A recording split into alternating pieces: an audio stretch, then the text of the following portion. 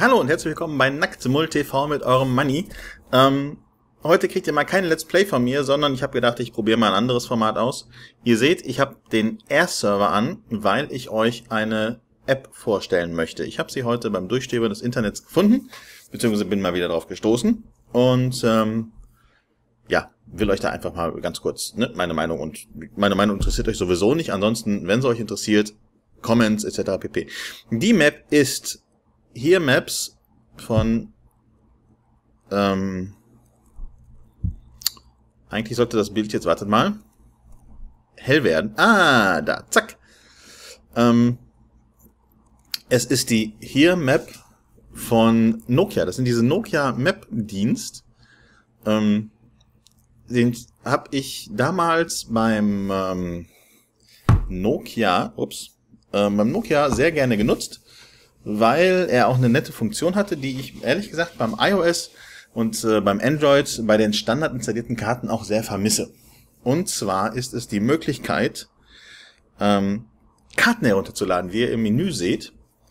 Und zwar könnt ihr hier, wie ihr seht, ich habe die Nordrhein-Westfalen-Karte schon runtergeladen, ähm, sind 293 MB, würde aber gerne auch, wie ihr seht, ihr könnt hier weltweit die Karten herunterladen ich gehe mal auf die Deutschlandkarte, die insgesamt 965,3 MB groß ist.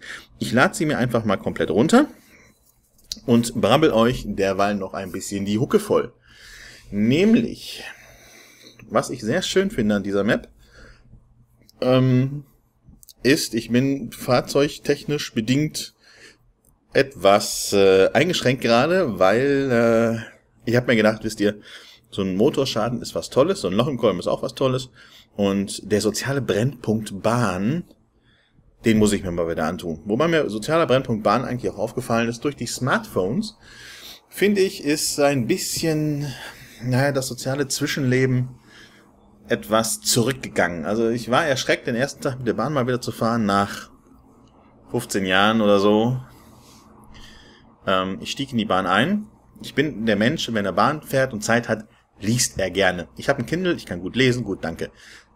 Ich kann gut lesen, ja, ist egal. Ähm, auf jeden Fall fand ich sehr erschreckend, dass wenn man in die Bahn einsteigt, man 90 Prozent der Bahnfahrer sieht, wie sie Kopfhörer in den Ohren haben und für sich selbst dahin sitzen und dahin siechen. Ich kann mich noch erinnern, es war damals mal so, dass ähm, da war ich noch in der Ausbildung, bin ich öfters mit der Bahn gefahren, weil ich keinen Führerschein hatte. Führerschein ab 18 in Deutschland, ihr wisst schon.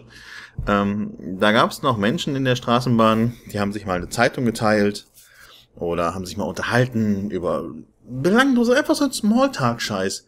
Und es finde es sehr schade, dass diese soziale Klamotte durch iPods, iPhones, Android-Handys, MP3-Player und wie der ganze Kladderadatsch nicht alles heißt, scheinbar völlig vor die Hunde geht.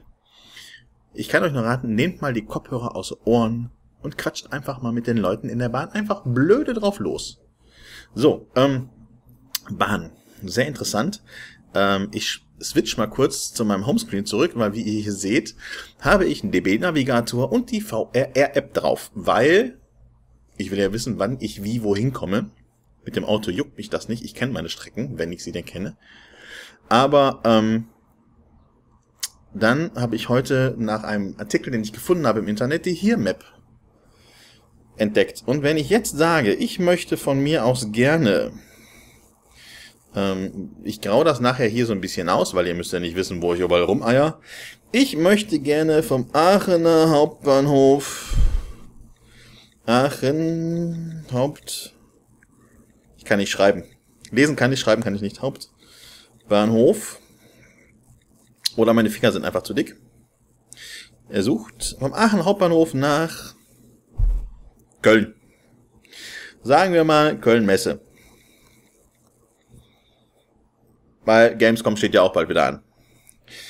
Ähm, genau, S-Bahn Köln-Messe Deutsch, Deutsch, Deutsch. So, und jetzt sucht das Ding und sagt mit dem Auto eine Stunde sechs Minuten inklusive sieben Minuten Verspätung und wie ihr gesehen habt, er sucht aber auch weiter. Und, ähm, gut, Fußweg 20 Stunden ist völlig irrelevant. Aber ihr seht hier mittig er gibt Bahnverbindungen an.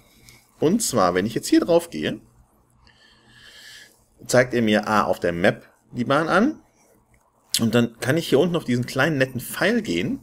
Und er sagt mir, Hauptbahnhof Aachen, Fußweg 40 Meter, eine Minute zum Aachen Hauptbahnhof, Regional 1, Richtung Köln Messe Deutz. Was allerdings nicht hier drauf steht, ist, ähm, von welchem Gleis dieser Regional abfährt.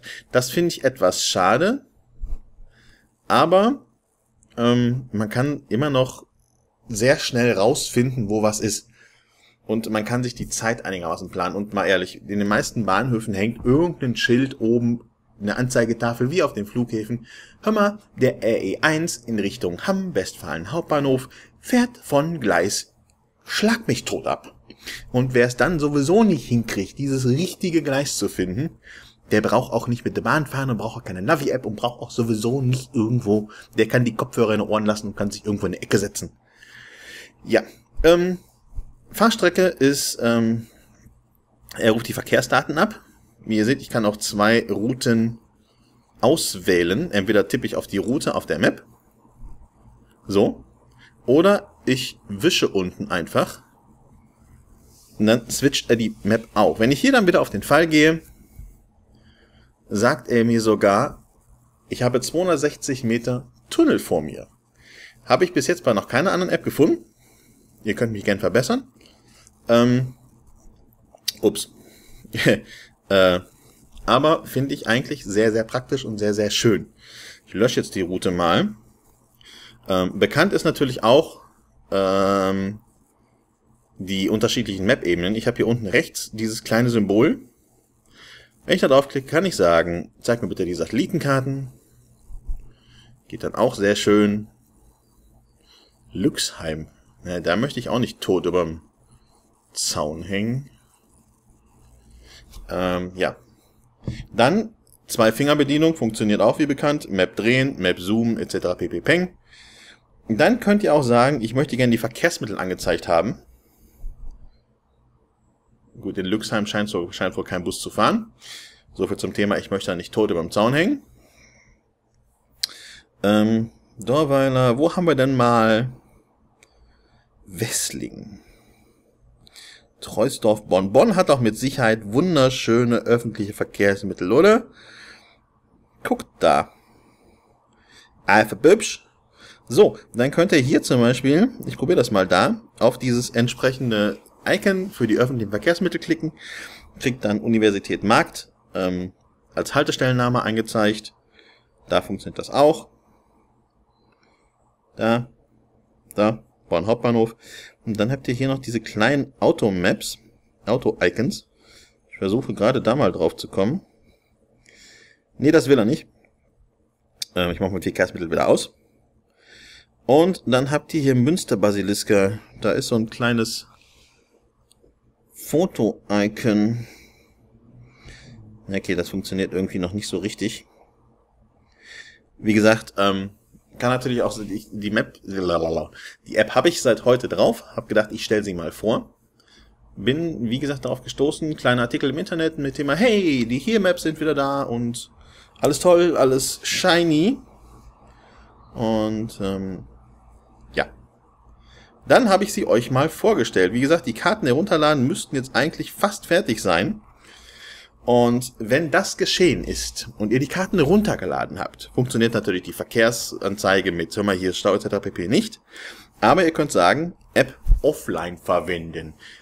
Dann könnt ihr mit dem Handy, wenn ihr jetzt nach Buxtehude fahrt oder irgendwo in Urlaub, Türkei, Italien, Prag, Peng, Holland, ladet euch die Karte vorher zu Hause übers WLAN runter. Ihr könnt es auch im Urlaub tun, wenn ihr da WLAN habt. Stellt die App als offline und navigiert fröhlich in der Stadt, wo ihr Urlaub macht. Und das für lau, Freunde. Für lau. Die App kostet nichts. Ich habe auch noch kein Abo-Modell gefunden, wo ich irgendwie sagen muss, hör mal hier, navigier mal oder die ganzen Kladderadatsch. Ich habe die Navigation ehrlich gesagt noch nicht ausprobiert. Ähm, aber ich denke, die wird auch sehr schön funktionieren.